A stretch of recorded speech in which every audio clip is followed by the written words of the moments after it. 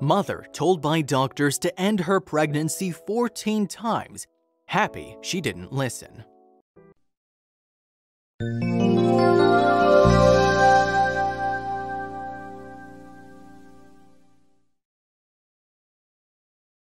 Desperation is a curious thing. It can cloud our judgment, make us crazy, illogical, and emotional, but sometimes it can be the very thing we need to make our dreams come true.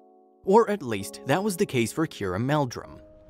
Kiera, a 20-year-old young woman from England wanted a child more than anything in the world. After losing four babies in pregnancy in her past, she was willing to do whatever it took to be a mother. When she got pregnant again, this time it felt right. Nothing was going to stand in her way. Well, except for the doctors who all advised her 14 times to terminate her pregnancy. They weren't being negative, her baby was simply in critical condition. When Kiera first discovered she was pregnant, it was July 2018, and as we mentioned before, she just suffered four miscarriages in a period of only two years. After 12 weeks of being pregnant, the doctors scanned her, and at first everything seemed to look really great. Eight weeks later, however, that's when things started taking a turn for the worse. The doctors realized the baby's stomach was filling up with fluid and it wasn't looking good. The doctors called it grade 3 severe ascites, and it was located in the baby's bowel. A steady buildup of fluid had materialized between the two layers that align the stomach, and according to medical professionals, this meant her baby was in danger.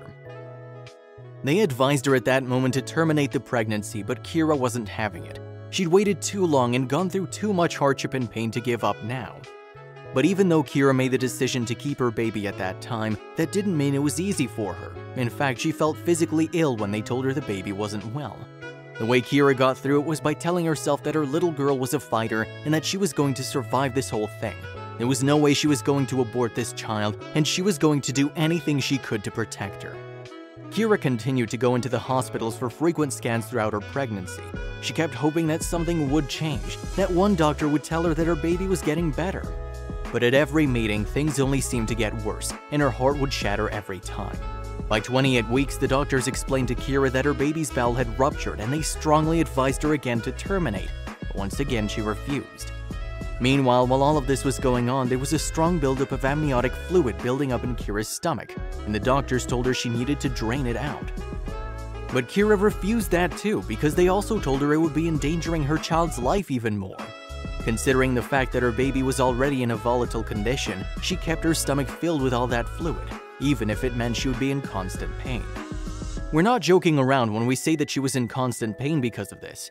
Kiera explained that her stomach swelled up enormously and that it felt as though she was holding a massive, painful water balloon against her body.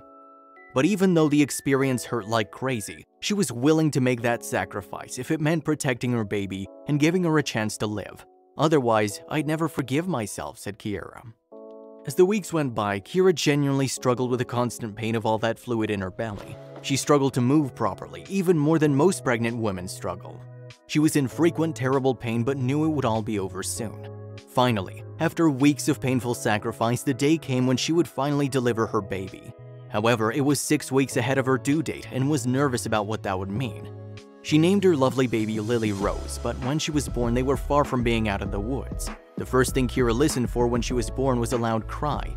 But the cry didn't come and Kiera started to get nervous. Her heart had been broken way too many times before and she started fearing the absolute worst. Those few moments felt like a lifetime, but finally, after what felt like forever, she heard this little scream. When she finally heard her baby cry, a huge wave of relief and emotion washed over her. Her baby had survived! Or at least he seemed okay at the moment. Things weren't that simple for Lily Rose.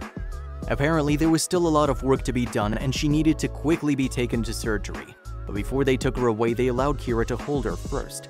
She was perfect, said Kiera. She also called her the most beautiful baby she'd ever laid eyes on. At 4 pounds and 3 ounces, this baby was obviously smaller than most, and given her condition, needed to be operated on immediately. So even though it literally broke Kiera's heart, she was forced to give her baby away to the doctors literally minutes after she'd given birth to her. However, she was also terrified of losing her, so she knew that it was all for the best, and that the doctors would do their best to save her life. They had to act quickly. Lily Rose was promptly transferred to another hospital where she was then placed into a highly complex surgery procedure, which involved them opening up her stomach and finding her bowel. They discovered it had split in half and one of the halves was wrapped around a blood vessel. They then connected these two halves with tubes and added a stoma bag. and just like that, this complicated surgery was completed. But just because they'd completed the surgery didn't mean they were successful. This was sort of unprecedented territory, and they weren't sure if everything was gonna work. They monitored Lily Rose heavily over the next eight weeks, carefully noting everything that was going on. Kiera, meanwhile, said their baby looked so tiny inside the incubator with all those wires. She knew that it was where her baby needed to be, but all she wanted to do was hold her tightly.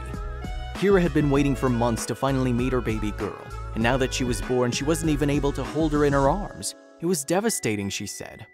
Any mother who's ever given birth can understand how hard that must have been, but it was all for the best. Finally, it was time to see if the first surgery had worked, and if so, to move on to a second surgery. By this point, Lily Rose was six weeks old. Amazingly enough, the first surgery had been successful. Eventually, the second surgery was successful as well, and after all that painful waiting, Kiera was allowed to bring her baby girl home at last.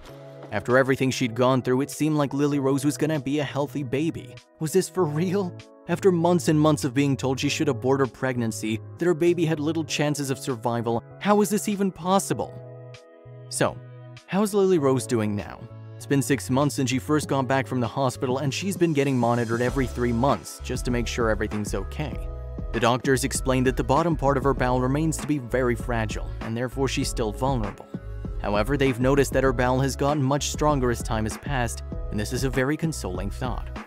Meanwhile, Kiera is understandably ecstatic to finally be able to spend time at home with her little baby.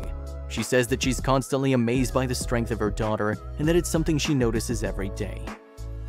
After all that waiting, Kiera's determined not to waste one moment with her daughter. She's my little miracle, said an emotional Kiera. She continued saying how her little girl stayed strong throughout the entire process and how proud she is. Kiera continued to reflect on the craziness of her story. She said that the doctors had told her every week to terminate her pregnancy, and that every time she'd hear that, it felt horrific. But there was a voice inside her that told her Lily Rose was going to make it through. How did she know that? This case was truly a miracle, so how could Kiera predict that her child would be the beneficiary of such a shower of blessings? Maybe what this story teaches us is that it's not always about knowing. When logical arguments are presented in front of us, things can seem pretty overwhelming, but if we have a strong resilience inside of us, something we want badly enough, well then maybe we can overcome the odds. Kiera had a feeling that this one was going to work out. The past four pregnancies hadn't worked out, but she had a feeling about this one. Well, turns out the doctors were also shocked by everything that happened. The truth is that her baby had a very rare condition and they weren't sure how safe it was, so they advised her to terminate. But after successfully saving her life, they realized this was a good research opportunity for future babies with similar conditions. Because of Lily Rose, they're now publishing papers about everything that happened. Dr. Kelly Cohen, a medical professional at the hospital in which Lily Rose was treated, expressed her happiness that Lily Rose was doing well. She also talked about how rare her particular case was, and that apparently only 1 to 3 babies out of 10,000 have this condition. The procedure is highly complex and very difficult to execute, therefore the fact that they managed is nothing short of a miracle. As of now, Lily Rose is looking stronger than ever. She's growing up into a healthy baby and she's getting bigger every day. Kiera did mention, however, that she's lactose intolerant, but who isn't lactose intolerant these days? She'll fit right in. In the grand scheme of things, this is a minor problem compared to the major string of things that could have gone wrong. Compared to the major string of things that could have gone wrong. It's clear how grateful Kiera is for being given this gift, and we have no doubt she'll give Lily Rose all the love in the world.